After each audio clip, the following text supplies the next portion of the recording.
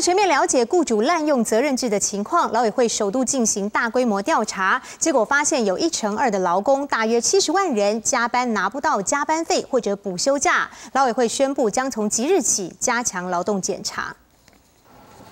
劳工过劳死频传，为了了解责任制被滥用的有多严重，劳委会首次进行大规模调查，发现有七十万劳工曾经被雇主 A 过加班费，还有近四十万的劳工被雇主用责任制当理由领不到加班费。情况这么严重，劳委会也宣布即日起启动扫 A 专案，专门在 focus 在这一次这样子的一个超时工作上面，那个检查的项目是会比较少一点的。我们从即日开始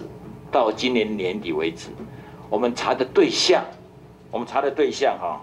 那么呃有要要达到一万家。劳委会列出七大即将加强劳动检查的行业，包括金融保险业、资讯通讯传播业、医疗保健及社会工作服务业、艺术休闲娱乐业、科学技术服务业、住宿餐饮业以及制造业。劳委会强调，有违法记录、有劳工申诉的企业是优先检查对象，欢迎劳工检举。那检查机构去检查的时候，他也不会说张三申诉就去调张三的资料，因为这个太明显了。我们在检查技巧上，我们透过一些。大家的一个演练呢，其实，在检查技巧下，也会把它呃，让这个检查的时候不会让这个当事人曝光。劳委会表示，依照新修正通过的劳基法，违法雇主可以处两万到三十万罚款，也会公布企业名单。另外，针对劳基法八十四条之一，目前法律上核准适用责任制的三十八种行业，年底前也会全面检讨。